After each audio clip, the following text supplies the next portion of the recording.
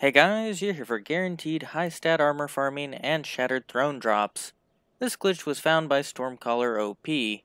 Shattered Throne drops will have high stats and the weapons will have exclusive perks you can only get from the dungeon, things like Surplus and Vorpal. A high stat armor is considered 56 stats and up, making this the easiest way to farm high stat armor solo in the game.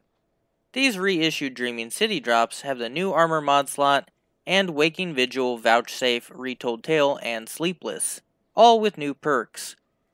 Petra offers certain bounties that reward legendary gear, the weekly Ascendant Challenge, and a rotating daily.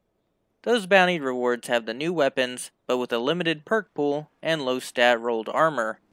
This glitch will guarantee high stats and give new perks from these bounties. All you have to do is open the bounties while in the Shattered Throne, the game glitches and thinks they should be Shattered Throne drops.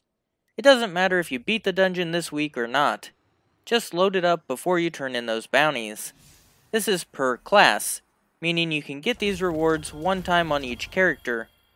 3 dailies is 21 rewards a week, and then you can also do the 3 weeklies for 24 additional rewards total. This took me 10 to 15 minutes, making it worth the effort to farm the gear.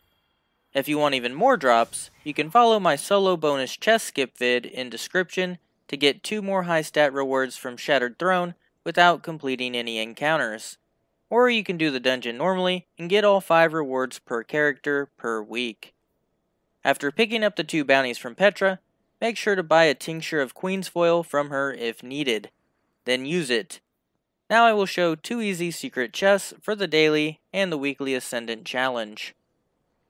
Cheese forever, Guardian. See. Reef made. It'll serve you well.